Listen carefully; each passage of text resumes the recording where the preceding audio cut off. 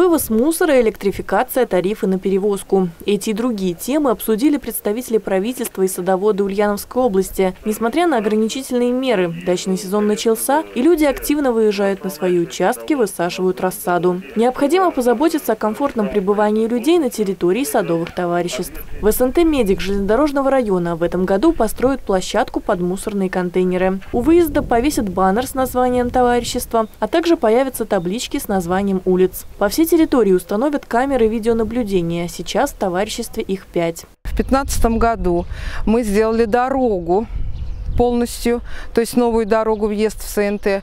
В 2016 году мы начали электрификацию СНТ «Медик». Питьевая вода у нас с водоканала. В 2019 году мы завершили э, электрификацию СНТ «Медик». И также мы завершили ремонт дороги.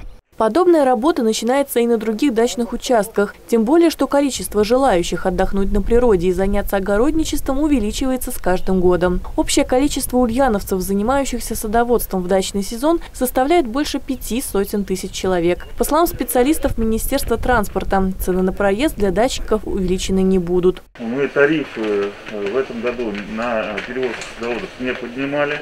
У нас тарифы действуют э, с 2018 года. Э, понимаем, что это очень социально важное направление, поэтому перевозчики с нами согласились, э, тарифы не поднимаем.